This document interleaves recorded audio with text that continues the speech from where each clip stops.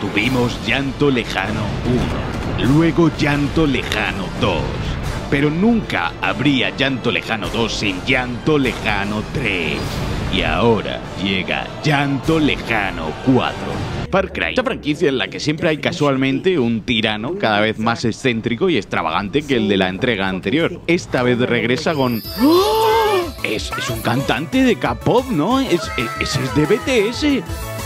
Así que dale a like para montarte en un puto elefante y suscríbete para hacerte un selfie con tu nuevo cantante de K-pop favorito, Pagan Min, porque estos son 30 detalles alucinantes de Far Cry 4.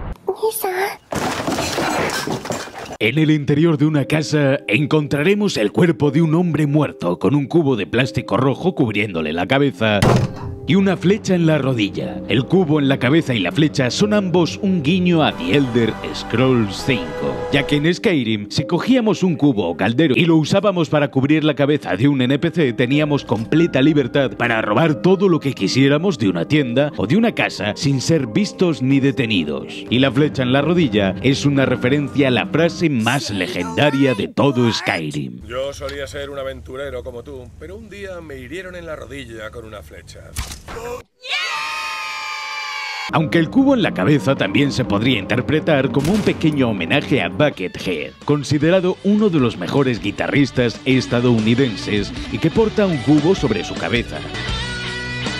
En algunas ocasiones, algunos cadáveres de enemigos o cofres pueden llegar a contener un ítem conocido como la pata del mono, cuya descripción garantiza que concederá tres deseos a su portador y nos aconseja que nos deshagamos de este ítem. Una referencia a la pata de mono, un relato de terror escrito por W.W. Jacobs, donde este talismán concedía hasta tres deseos a su dueño, pero los cumple de forma horrible y con terribles consecuencias. Este objeto también aparece en otros juegos como The Binding of Isaac donde también tiene hasta tres usos, incluso en Los Simpson, donde Homer también puede pedir tres deseos que se acabarán volviendo en su contra. La descripción de la pistola AJM9 dice, el futuro es ahora. El futuro es hoy, ¿oíste viejo? Con esta pistola podrás destrozar a tus objetivos y proteger al mismo tiempo a los inocentes, en referencia a la película de Robocop. De hecho, las siglas del arma AJ y M son las de Alex J. Murphy, el hombre que se convertía en Robocop. Al sur de Barshakot encontraremos una caverna en la que hay dispuestos una enorme cantidad de cálices dorados, en referencia a la última de las pruebas que debía superar el mítico personaje de Indiana Jones en la película de la Última Cruzada, donde debía elegir correctamente cuál era el Santo Grial, el cáliz de Cristo en la Última Cena y aquel que concede la vida eterna. De hecho, en la cueva encontraremos los restos de un explorador británico del siglo XIX sujetando un cáliz dorado entre sus manos, indicando que eligió el cáliz incorrecto, tal y como le sucedía a Walter Donovan, el villano de esta película.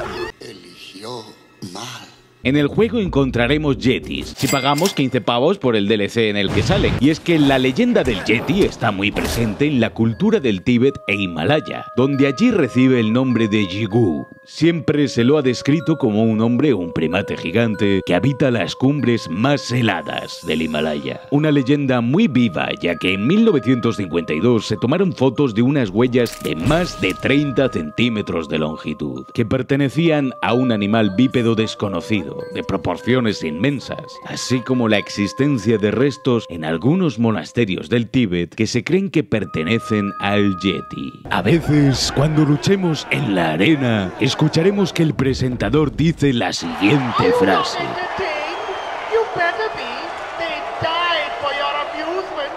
Una que también podíamos escuchar en la película Gladiator, cuando el personaje de Máximo Décimo Meridio, Me llamo Máximo Décimo Meridio. interpretado por Russell Crowe, derrota a toda una arena de gladiadores y grita esto al público, ¿Os habéis divertido? reprochándoles que les divierta ver cómo ha tenido que acabar con la vida de todos esos hombres.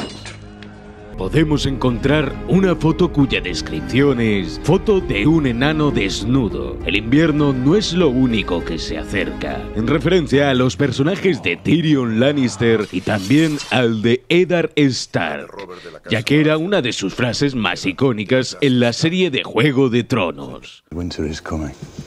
Un easter egg que tiene más sentido en inglés, ya que lo de que se acerca el invierno en inglés es y coming tiene una pronunciación muy parecida a eyaculación. Se acerca el invierno, algo blanco, fotos de enanos desnudos, no sé. ¿Alguien ha pedido leche de enano? Durante la Kirat Fashion Week, cuando tratamos de cazar a Gulo, el maldito ratel, Mumu Chiflón dirá que a los rateles todo les importa una mierda. Haciendo una sutil referencia a un vídeo que se hizo viral en las redes, Crazy Nasty Ass Honey Badger, es decir, el puto ratel loco. La aguja hipodérmica es un ítem que podemos lootear y que hace referencia a los primeros Bioshock y a las enormes jeringuillas que usaban las Little Sisters para extraer el Adam a los cadáveres de Rapture. De hecho, la descripción de este objeto dice rellena de un líquido brillante. En caso de darse una utopía fallida bajo el agua, no te lo pienses dos veces e inyéctate una dosis en el brazo. Tal y como el protagonista de Bioshock hacía con la jeringuilla de Adam para recibir el poder de los plástidos. El arma HS-77 es prácticamente una réplica del blaster que empleaba el personaje de Han Solo en las películas de Star Wars, y cuyo propio blaster estaba basado en la Mauser C96. Las siglas de la HS-77 son las iniciales de Han Solo, y el 77 hace referencia a 1977, año en el que se estrenó la primera película de Star Wars, Una Nueva Esperanza. De hecho, la descripción de este arma es una pistola para desenfundar más rápido y asegurarte de que siempre seas el primero en disparar. Un guiño a la escena de la cantina del episodio 4, donde Han Solo y Grido se disparan a la vez.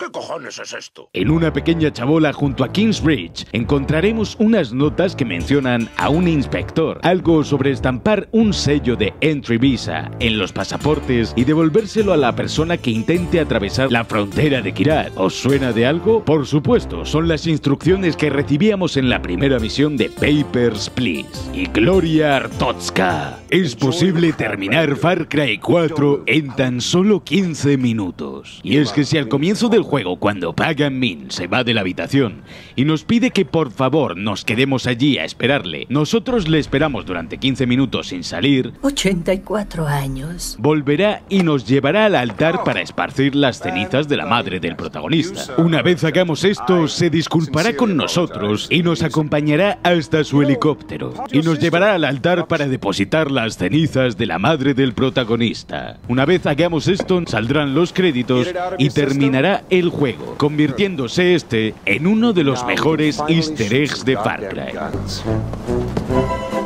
No en vano, en la intro del juego se escucha esta legendaria canción de la banda The Clash, cuyo significado es debería quedarme o irme, en referencia a este easter egg en el que podemos elegir quedarnos y esperar esos 15 minutos. Si prestamos atención veremos que los quad tienen una etiqueta que nos advierte sobre los peligros de jugar demasiados videojuegos y cómo estos pueden llevarnos a un comportamiento violento. La misma etiqueta que podíamos encontrar en su antecesor, Far Cry 3, y que se burlaba de esta creencia popular de que los videojuegos te vuelven más violento. Trata de no meterte, Esteban, porque me molestas. Pero pará, Jimenito, ¿qué te, te- ya estás enajenado? Esta cosa es real, hijo. El lanzamisiles que nos da el armero de la senda dorada Longinus se llama el LK-1018. Curiosamente, esto referencia al Evangelio de Lucas 10-18 y les dijo, vi a Satanás cayendo como un rayo desde los cielos. Y es que varias armas ocultan referencias a varios versículos de la Biblia, al igual que Longinus es el nombre del soldado romano, que al atravesar el cuerpo de Cristo con una lanza, fue bañado por agua y sangre que brotaban del cuerpo de Cristo, curándole la ceguera, y la lanza pasó a conocerse como la legendaria lanza de Longinus. Si escuchamos la radio mientras conducimos en la emisora del locutor de radio, Ravi Rey Rana, escucharemos cómo este hace referencia a otras franquicias, series y personajes como el Joker,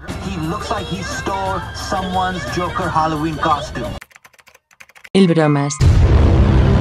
Barack Obama, Tony Montana de Scarface, Walter White de Breaking Bad. y hasta Kim Jong-un, entre otras tantas.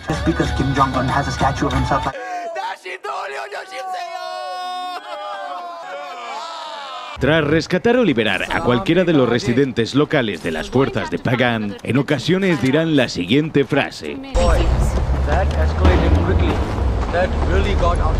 Una que ha sido extraída directamente de la película de The Anchorman, protagonizada por Will Ferrell y que popularizó una de las frases más legendarias de Internet.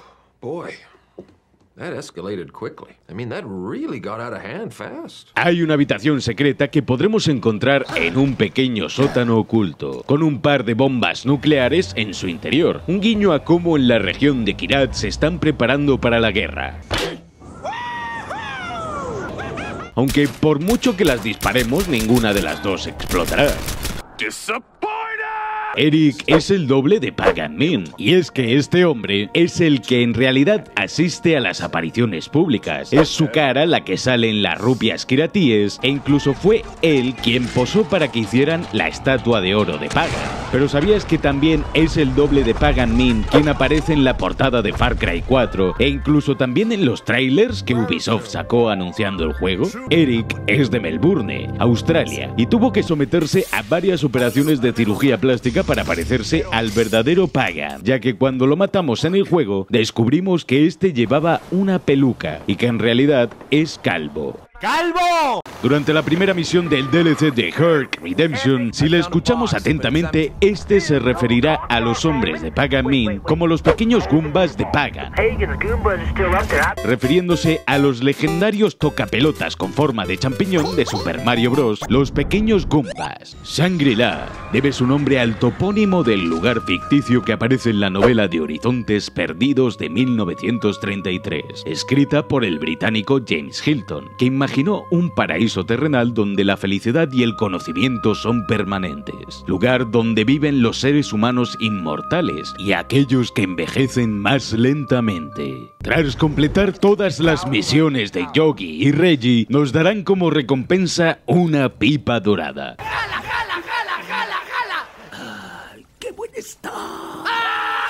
Un ítem secreto del juego que al usarlo nos hará despertar en una localización completamente aleatoria del mapa cada vez que la usemos. Y es que podremos despertar hasta debajo del agua. En el final normal, podemos elegir no disparar a Pagan Min, pero sí podremos disparar a su helicóptero cuando éste intenta marcharse tras la escena del final. Si lo disparamos y destruimos el helicóptero, en el lugar donde este se estrella se creará un nuevo punto en el mapa. Tras los créditos podremos ir hasta ese nuevo lugar donde encontraremos el cuerpo de Pagan Min, y si lo registramos encontraremos su famoso bolígrafo de oro, el mismo que usa para matar a un personaje al comienzo del juego, así como otras muchas pertenencias de gran valor. Hay una cueva en la que encontraremos una nota llamada Las reglas de Yalum Panta, una lista que enumera diferentes reglas entre las que destacan no hablar de Yalum Panta, reglas que son un guiño al legendario diálogo de Tyler Darden, de la novela y de la película del Club de la Lucha. La primera regla del club es no hablar del club de la lucha. Algunos guardias reales pueden gritar la frase de Una frase extraída directamente de los Sea Raiders del juego Mountain Blade, que decían estas mismas palabras en el juego para provocarnos. Si buscamos todas las cartas ocultas del juego encontraremos cadáveres de soldados ingleses junto a pequeñas bolsas con el sello estampado de la Orden de los Templarios, una pequeña referencia a su presencia e importancia en otros juegos de Ubisoft, como la saga Assassin's Creed.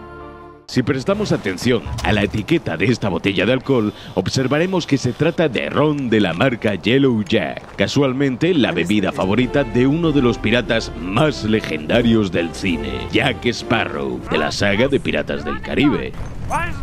Hay otros objetos que ocultan pequeñas bromas o chistes, como un manual de instrucciones en el que pone RTFM, es decir, lee el puto manual del juego, y una revista pornográfica antigua de Kirat, donde hay un juego de palabras con la palabra Himalaya en inglés y que se titula Listas y mojadas para el Yeti. ¡Diablos, señorita! La primera estatua con la que nos encontramos en el juego, en Shangri-La, nos mirará durante unos segundos al acercarnos a ella. Pero en cuanto nos giramos un segundo, esta girará la cabeza y recuperará su posición original como si no hubiera pasado nada.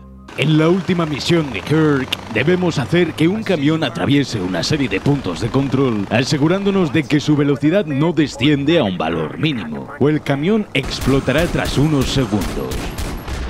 Y es que el argumento de la misión entera es una referencia a la película de Speed, protagonizada por Keanu fucking Reeves, el puto John Wick, donde un autobús urbano tiene una bomba que explotará si su velocidad se ve demasiado reducida. De hecho, Herc nos dirá, en referencia al mismo actor y a la primera película de Matrix que termina con el personaje de Neo volando. Aunque también Kirk menciona a Michael Bay, famoso por el empleo abusivo de explosiones en sus trabajos. Hay una nota en el juego que es un guiño directo a la definición que hacía el villano de Far Cry 3, Bass, sobre la locura. Insanity. Doing the exact same fucking thing over and over again. En nuestra primera misión con Longinus, este nos dará un localizador que tiene el mismo aspecto que el que empleábamos en Far Cry 2. De hecho, durante la misma misión conseguiremos una caja de diamantes, otra referencia más a los diamantes que coleccionábamos en Far Cry 2. Incluso hay un diamante cuya descripción asegura que es de Boa Seco, una de las localizaciones de la segunda entrega de la saga. Pero si es que hasta Longinus procede del mismo país sudafricano donde tienen lugar los eventos de Far Cry 2. Al hablar sobre sus tatuajes, Herc mencionará a Jason Brody, protagonista de Far Cry 3, y a Jack Carver, el de Far Cry 1. El personaje de The Player tiene una indumentaria que recuerda la del mismísimo Jack Carver. Willis se refiere a Jason Brody como al capullo de California del Sur. Las píldoras para la malaria son un guiño a la medicación que debíamos tomar para combatir dicha enfermedad en la segunda entrega. También aparecerá un pequeño muñeco de Bass y un GPS con un mapa de Rook Island, donde tienen lugar los acontecimientos de Far Cry 3. Joder, ahora que lo pienso, qué bueno era Far Cry 2, ¿no? Mira esas animaciones de curación. E- Esto sí que merece un like y, que te suscribas, ¿eh? Mira, mira, ¡buah! Sí, sí, dejadme en comentarios qué otros vídeos de 30 detalles queréis y eso, que yo voy a seguir viendo esto porque, madre mía.